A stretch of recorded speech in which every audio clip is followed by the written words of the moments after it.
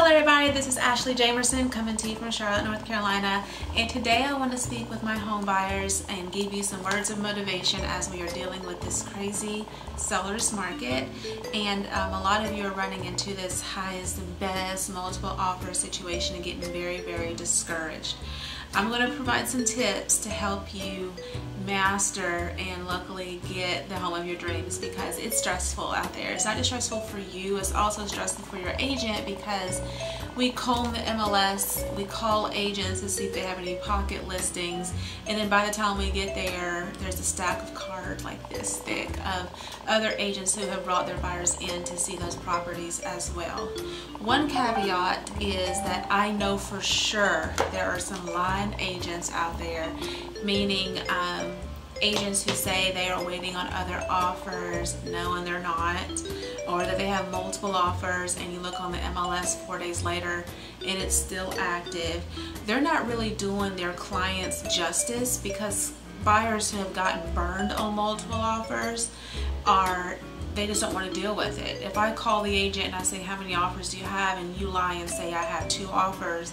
My buyer, no matter how much um, motivation I try to get them to write an offer on your multiple offer, they're not going to do it because they don't want to pay more than what they feel their house is worth. Now, you may say, well, Ashley, the bank will prevent you from paying more than the home is worth.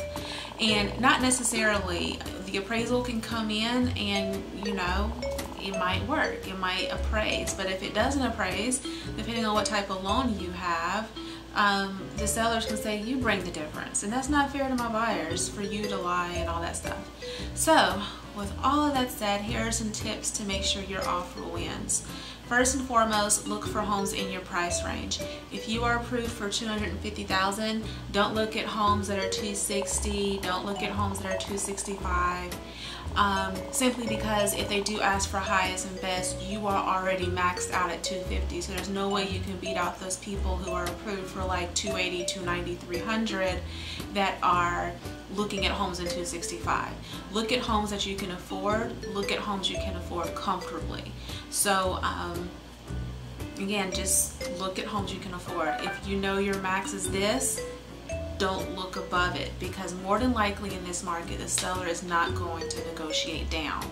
Second, you have to be a little flexible.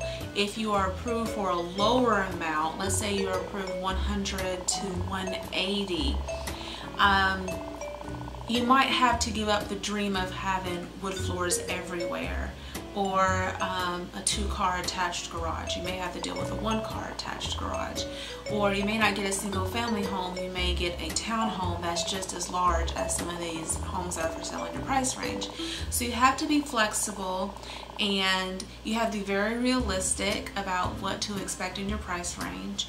Before, gosh, I would say like three or four years ago, I would say that um, granite was just common. Like once you hit 200,000 in Charlotte, North Carolina, you can just expect granite. That's not really the case anymore. There's tons of houses out there without granite and um, in that price range. And I don't really see it as a definite really until like 250 and still it's tossed up in the air depending on what school district you're in. Um, so the market has definitely shifted strongly in the seller's favorite, uh, favor. also be pre-approved. Now, I've done lots of videos on getting pre-qualified, talking to a lender, knowing how much your payments are, blah, blah, blah.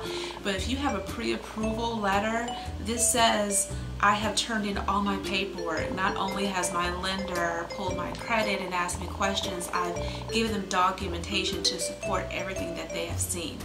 Pre-approval trumps a lot of stuff in this market because the seller wants to buy a house, they want to move, and oftentimes their contingent to sell offer on their next house will look stronger if your offer is stronger. So they want the strongest offer as possible. Um, another tip is have your agent call the seller's agent and say, what closing date would be best for your client. Um, you got to keep in mind that you're buying a home, they're selling a home, but they're also buying a home. So the typical 30, 35 day close may not work for them because they may get stuck in a few highest and best offers situations as well. So see if a 45 day close will be better or a 60 day close and really work with them to make it a win-win situation. I know that um, a lot of agents just don't go that extra mile for their client and I really make it a habit to do that because when they find a house, when they walk in and their eyes light up and that's the house that they want, my job is to make sure they get that house in the best terms as possible. So um, those are my three tips. Be, be realistic, be pre-approved, and then call the listing agent to see what terms the seller is specifically looking for to make the offer as strong as possible.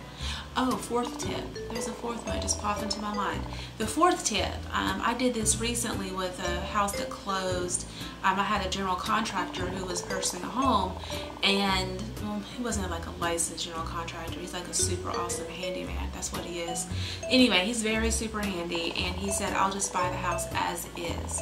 So not only was he pre-approved, not only was he realistic and looking at homes in their price range, but he was also willing to buy that home as is. So that took the stress of waiting for the due diligence period for the inspections off the seller's back. And it made their offer so much stronger and they won. They didn't even get involved in the highest and best because their offer was just that awesome, awesome sauce offer. So if you have any questions, please feel free to call or text me at 980-319-3664. Visit my website, search704.com, or you can get instant price values. You don't even have to talk to me. You can get instant price values at ashleysellmyhouse.com. The address is below. I'm totally confused just now. Anyway, I'll talk to you soon and have an awesome week. Bye.